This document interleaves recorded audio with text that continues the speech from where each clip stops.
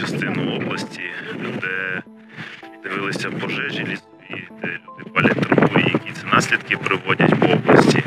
Значить, крім того, незаконні рубки, розуміємо території, над чим нам потрібно працювати і на що звернути більше уваги.